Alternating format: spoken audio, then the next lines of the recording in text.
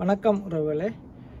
இன்றைக்கு எங்களோட பக்கத்தில் இருக்கிறவே எங்களோட நெய்பர் வந்து இந்தியாவை சேர்ந்தவர்கள். அவர்களோட அப்பா அம்மா ஸ்பான்சரில் வந்திருக்கணும் அவையல் வந்து பாருங்க ஊர் அவையோட ஊரில் செய்மா போலேயே நல்ல இப்படியே பப்பனம் செய்யணும்னு பாருங்க. அது நான் இதில் கேட்டு ஒரு வீடியோ பிடிச்சேன் நான் அவையில். அந்த வீடியோ நீங்கள் பாருங்க அப்படின்ட்டு. ஒரு மண் வச மண் வாசனை மாறாமலே அவையோட ஊரில் செய்மா போலேயே இங்கேயே முன்னுக்கு பப்படைஞ்சது பப்படம் செய்து காய வைக்கணும்? நல்லாயிருக்கு பார்க்க ஒரு ஊர் ஒரு இந்தியாவோட வீல் வந்தது எனக்கு. இவர்கள் எங்களோட பக்கத்து வீட்டுக்காரர்கள் அடுத்த வீடு. அண்மை காலத்தில் இந்தியாவிலேருந்து வந்திருக்கணும். மகன் கூப்பிட்டுக்கிறார் இப்போ கொள்ளைக்கு இந்த வாரம் லண்டனில் நல்ல வெயில். இப்போ ரெண்டு நாளாக இவ பப்படம் செய்துருக்கணும் பாருங்கள் நான் அவையிட்ட போய் கதைச்சேன்.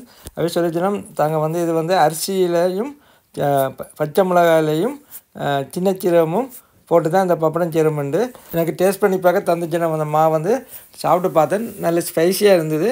அரிசியை அரைச்சிருக்கணும். அதோட பச்சை மிளகாயும் அரைச்சி சீரத்தையும் அரைச்சி அதோட எண்ணெய் விட்டு குழச்சி எடுத்துருக்கணும். சின்ன சீரகம் கொஞ்சம் முழுசாக போட்டிருக்கணும். அது கிடைக்கிட வருது ஒரே நாளையிலே இது காஞ்சிரும். பாருங்க அங்கேருந்தே அச்செல்லாம் கொண்டு வந்துருக்கணும்.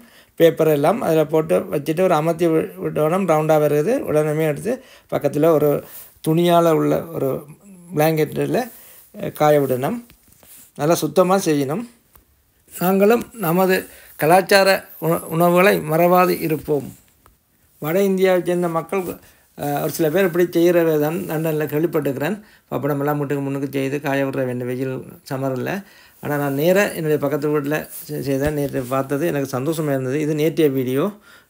அதை பார்த்துட்டு தான் இன்றைக்கு செய்துட்டு இருக்கும்போது நான் போய் கேட்டு வீடியோ பிடிச்சேன் நான் உங்களுக்கு இந்த வீடியோ பிடிச்சிருந்தால் லைக் பண்ணுங்கள் சப்ஸ்கிரைப் பண்ணுங்கள் முன்னும் ஒரு வீடியோவில் சந்திப்போம்.